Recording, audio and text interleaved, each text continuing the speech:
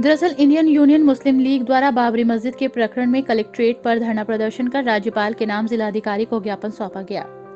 इस दौरान deputy CM Keshav Prasad Maurya के ट्वीट पर।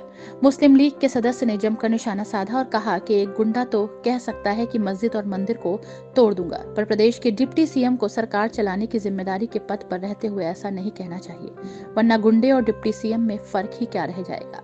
उन्होंने कहा कि डिप्टी सीएम ने गुंडे का रूप धारण कर लिया है, इसलिए मुस्लिम लीग ये मांग करती है कि डिप्टी सीएम केशव प्रसाद मौर्य को तत्काल प्रभाव से बर्खास्त किया जाए और उन पर मुकदमा लिखा जाए। आदेश दिया, लेकिन कानून के खिलाफ दिया।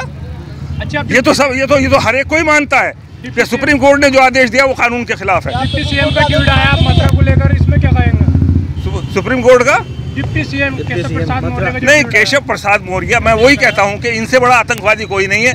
कि डिप्टी सीएम होने के बाद ये ओथ लेते हैं कि हम संविधान की के अनुसार काम करेंगे और वही आदमी जिस पर संविधान की सुरक्षा की ज़िम्मेदारी है, कानून की सुरक्षा की ज़िम्मेदारी है, वो अगर इस तरह की गुंडागर्दी का मुजाहरा करे, मैं गुंडागर्दी कहूँगा कि वो ये कहे, सड़क सड़क चलता है, गुंडा तो कह सकता है कि साहब ये मस्जिद में तोड़ दूँगा और इसकी जगह मंदिर बनाऊँगा। लेकिन एक डिप्टी सीएम रैंक का आदमी जिसके ऊपर सरकार को चलाने की ज़िम्मेदारी है, कानून के हिसाब से, संविधान के हिसाब से, वो अगर इस तरह की बात करता है तो मैं यहाँ साफ़ सफ़ाई के साथ मुस्लिम लीग की तरफ़ से कह रहे हैं उससे बड़ा आतंकवादी हिंदुस्तान के अंदर नहीं है। मुस्लिम उसको उसको फ़ौरन उसको फ़ौरन सस्पेंड किया जाए फ़ौरन उसे गिरफ़्तार किया जाए उसके खिलाफ मुकदमा कायम किया जाए कि उसने संविधान का मज़ाक उड़ाया है उसने कानून का मज़ाक उड़ाया है और उसमें उसने देश में